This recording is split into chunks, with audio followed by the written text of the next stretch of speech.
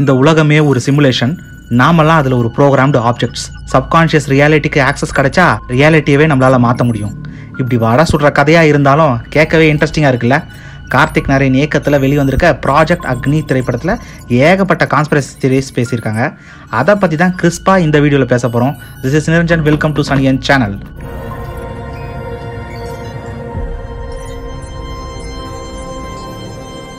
இந்த உலகத்திலேயே கான்ஸ்பிரசி தியரிஸை கேட்குற அளவு சுவாரஸ்யமான விஷயம் எதுவுமே இல்லை. கம்பி கட்டுற கதைன்னு தெரிஞ்சும் நம்மளை கொக்கி போட்டு உட்கார வைக்கிற தன்மை கொண்டது தான் கான்ஸ்பிரசி தியரிஸ் அதுவும் சைஃபை பொறுவையில் கான்ஸ்பிரசி பேசக்கூடிய இந்த ப்ராஜெக்ட் அக்னி படத்தில் சுவாரஸ்யத்துக்கு சுத்தமாக பஞ்சமே இல்லை. இந்த படம் எடுத்துக்கிட்ட ரசம் ஒண்டர் அதாவது ஆச்சரியம். இந்த ரசத்தை இந்த படம் சாட்டிஸ்ஃபை பண்ணிச்சான்னு கேட்டால் கண்டிப்பாக பண்ணுச்சுன்னு சொல்லலாம். இந்த படத்தில் அப்படி என்ன சொல்ல வராங்கங்கிறத சிம்பிளாக சொல்லணும்னா இந்த உலகமே ஒரு மாயை. யாரோ ஒருத்தர் கிரியேட் பண்ண ஒரு சிமுலேஷன் தான் நாம எல்லாம். கிட்டத்தட்ட ஒரு வீடியோ கேம் தான் இந்த கேலக்ஸியே அதில் நாமெல்லாம் வீடியோ கேமில் இருக்க ஒரு கேரக்டர்ஸ் மாதிரி தான் இந்த வீடியோ கேமை கிரியேட் பண்ண ப்ரோக்ராமர் தான் the so called god the creator இங்கே டைம் லைனுன்னு ஒன்று இல்லவே இல்லை. பாஸ்ட் ப்ரெசன்ட் ஃப்யூச்சர்னு எல்லாமே அட் அ டைம் நிகழுது.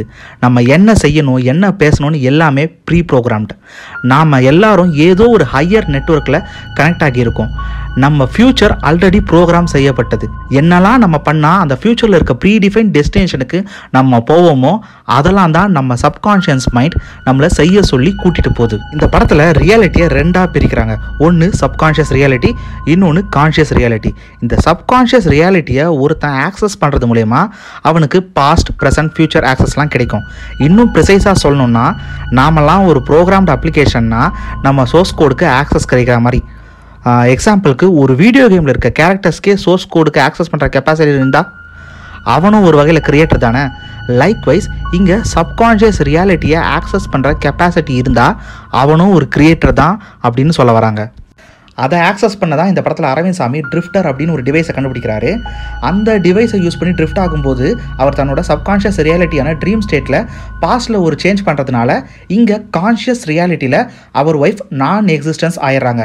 இதை மைண்ட் டைம் ட்ராவல்னு சொல்கிறாங்க அப்படி ஒரு கான்செப்ட் இருக்குது அதுக்கு பேர் குரோனோஸ் தீஷியானும் சொல்கிறாங்க நீங்கள் கூகுளில் சர்ச் பண்ணி பார்த்தீங்கன்னா அந்த கான்ஸ்பிரசி தியரியும் உங்களுக்கு கிடைக்கும். எக்ஸாம்பிளுக்கு ஒரு வீடியோ கேமில் இருக்க கேரக்டருக்கு சோர்ஸ் கோடுக்கு ஆக்சஸ் கிடச்சி அவன் அதில் தன்னோட அப்பியரன்ஸை வேற மாதிரி ப்ரோக்ராம் பண்ணிக்கிட்டா அப்பியரன்ஸோட சேஞ்ச் எல்லா லெவல் ஆஃப் கேம்ஸ்லேயும் ரிஃப்ளெக்ட் ஆகும்ல? அப்படி வச்சுக்கலாம். இவன் பாஸ்டில் பண்ணுற சேஞ்ச் வந்து ஃப்யூச்சர்லேயும் வந்து சேஞ்ச் ஆகுது. ஏன்னா சப்கான்ஷியஸ் மைண்ட்லேருந்து அதை தூக்கிட்டதுனால இங்கே வந்து நான் எக்ஸிஸ்டன்ஸாக கரண்ட் கான்ஷியஸ் ரியாலிட்டியில் மாறுது. இது கேட்க தமாஷா இருக்கும். என்னடா கதை கதையாக விட்றீங்கன்னு இருக்கும்.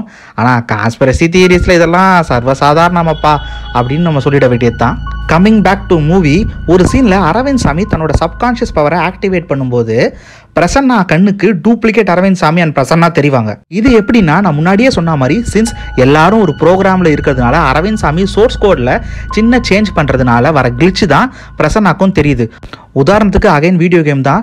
ஒரு வீடியோ கேமில் ரெண்டு கேரக்டர் இருக்குது ரெண்டுத்துக்குமே கான்ஷியஸ் இருக்குன்னு வச்சுப்போம். இப்போ இதில் ஒரு கேரக்டருக்கு சோர்ஸ் கோட் வழக்கம் போல் ஆக்சஸ் கிடச்சி லைட்டாக கோடை மாற்றி அங்கே ஒரு பொண்ணை நிற்க வைக்கிற மாதிரி பண்ணால் அந்த பொண்ணு இன்னொரு கேரக்டர் கண்ணுலேயும் படும்ல அந்த மாதிரி தான் இதுவும். அடுத்து அரவிந்த் சாமியோட அசிஸ்டன்ட் கல்கின்னு ஒருத்தருக்கும் இந்த ஆக்சஸ் கிடச்சிருக்கும். அவரும் கிரியேட்டர் ஆவார். அவர் நினச்சதை பண்ண முடியுது. அதனால தான் அவர் வாட்டர் மேலே தூக்குறதுன்னு மேஜிக் மாதிரி வித்தெல்லாம் காட்டுவார். இப்போ ஒரு கொஷின் வரும். எப்படி ஃபிசிக்ஸுக்கு அகேன்ஸ்டாக எர்த்தில் காரை மேலே தூக்க முடியுது? தண்ணியை மேலே வர வைக்க முடியுதுன்னு சொல்லிட்டு. நான் ஆல்ரெடி சொன்ன மாதிரி வழக்கம் போல் வீடியோ கேம் எக்ஸாம்பிள் தான் இதுக்கும் எடுத்துக்கணும். பப்ஜி கேமை டிசைன் பண்ணும்போது அதுக்குன்னு ஒரு தீர்மானம் இருக்கும். இந்த நிலப்பரப்பு இப்படிலாம் இப்படி தான் இருக்கும். இந்த கேரக்டர்ஸ் இப்படி தான் நடப்பாங்க இப்படி தான் ஓடுவாங்க. இவங்க ஜம்ப் பண்ணால் இவ்வளோ தூரத்துக்கு ஜம்ப் பண்ணுவாங்க. இந்த கீயை இப்போ யூஸ் பண்ணால் வேற மாதிரி ஜம்ப் பண்ணுவாங்க அப்படிங்கிற மாதிரி சில சட்டத்திட்டங்கள்லாம் வரையறுத்து வச்சுருப்பாங்க. இதெல்லாம் ஒரு கோடில் எழுதி வச்சுருப்பாங்க.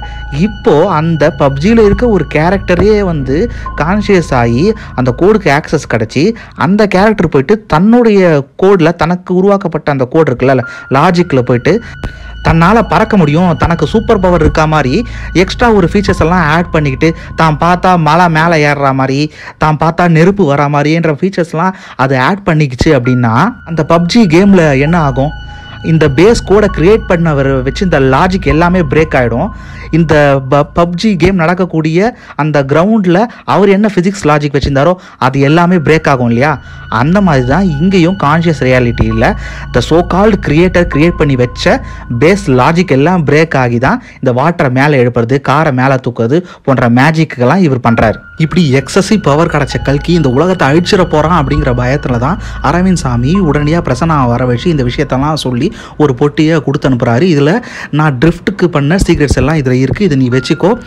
கல்கியை வந்து எப்படியாவது அழிச்சிருங்க. அவன் வெளில இருந்தால் இந்த உலகமே அழிஞ்சு போயிடும். ஏன்னா சப்கான்ஷியஸ் ரியாலிட்டியை அவங்க டிஸ்இன்டகிரேட் சுத்தமாக பண்ணிடுவான் அப்படின்றதுக்காக தான் பிரசனாவை கூடுவார். கடைசியில் பார்த்தா வந்ததே வந்து கல்கியாக தான் இருக்கும். ஏன்னா கல்கி கிட்ட நிறையா பவர் இருக்குது அவன் அடுத்தவங்க என்ன பார்க்க நினைக்கிறாங்களோ அதெல்லாம் உருவாக்க முடியும். அவனால் இந்த கான்ஷியஸ் ரியாலிட்டியை பெண்ட் பண்ண முடியும். ஸோ இவனால் எந்த ஒரு விஷயத்தையும் உருவாக்க முடியுங்கிறதுனால இவன் பிரசனா மாதிரி உருவத்தில் வந்து தனக்கு தேவையான விஷயங்களை வந்து வாங்கிட்டு போயிட்டான். இதில் நோட் பண்ண வேண்டிய ஒரு முக்கியமான விஷயம் என்ன? இதில் நோட் பண்ண வேண்டிய ஒரு முக்கியமான விஷயம் என்னென்னா இவனுடைய பெயர். கல்கி. இந்து மித்தாலஜி பிரகாரம் கல்கி அப்படிங்கிற அவதாரம் எப்பெல்லாம் உலகத்தில் அதர்மம் தலைவரிசி ஆடுதோ அப்போல்லாம் ஒரு அவதாரம் வரும். இப்போ இந்த கலியுகத்தில் கல்கி அவதாரம் வந்து உலகத்தை காப்பாற்றும்னு ஒரு நம்பிக்கை உண்டு. ஆனால் இந்த படத்தில் அது ஒரு முரணாக பயன்படுத்தியிருப்பாங்க. உலகத்தை காக்க வருவது கல்கி இல்லை அழிக்க வருவது தான் கல்கி அப்படின்னு பயன்படுத்தியிருப்பாங்க. அது இன்ட்ரெஸ்டிங்காக இருந்தாலும் அதுக்கு பிரச்சனைகள் வருமா என்னன்னு தெரியல. இப்போ நான் கொளுத்தி போட்டிருக்கேன்னு நினைக்கிறேன். இதுதான் இந்த படத்தில் நான் அண்டர்ஸ்டாண்ட் பண்ணிக்கிட்டது. இதை நான் ஒரு சைஃபை மூவியாலாம் பார்க்கல. இது வந்து ஒரு கான்ஸ்பிரசி ஃபிக்ஷனாக தான் நான் பார்க்குறேன்.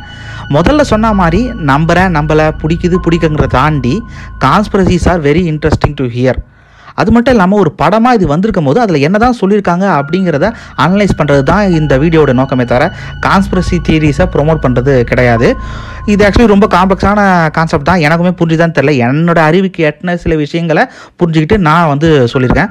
உங்களுக்கு என்னெல்லாம் புரிஞ்சுது அப்படிங்கிறத நீங்களும் சொல்லுங்கள் ஏன்னா இந்த மாதிரியான ஒரு ஒரு ஃபன்னான மேட்டர்களை வந்து டீகோட் பண்ணுறது வந்து ஒரு ஜாலியான ஒரு விஷயம்.